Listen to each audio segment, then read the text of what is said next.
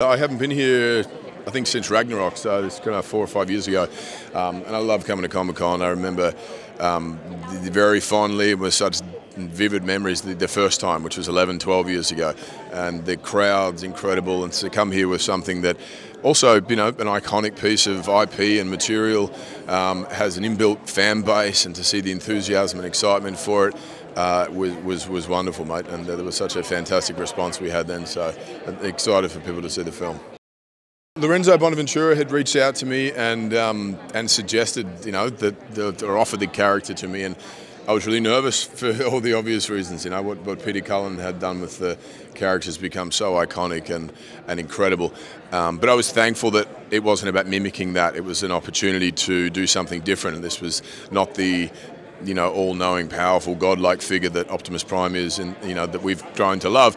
This was the youthful version before he had it all figured out, and there was a sort of a cockiness and, and, and enthusiasm and a um, you know, a sense of humour and there's a different sort of a spontaneity to the character, much more sort of youthful, lively version. And I think myself and all the cast really lent into that. So there's a great sense of, of fun to it, you know. And it being an origin story, we get to see something very different about all the characters and uh, these two individuals um, who, you know, begin as friends and end up as enemies. It's, it's quite a sort of complex but fun thing to play with.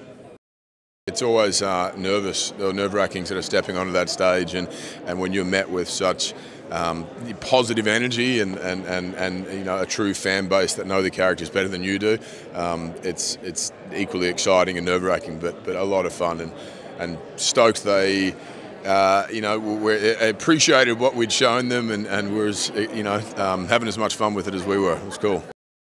Oh, absolutely. You know, the, the cinema going experience, you know, is um, is hard to replicate. And, and for myself, I reckon some of my happiest memories were going to the cinemas with my brothers and my parents as a kid or groups of mates. And, and this, uh, this film certainly warrants that and deserves that. You know, it, it's big, it's loud, it's fun, um, it, it's got a great sense of humour, but there's this heart at the centre of it too. So I'm sure people will love it.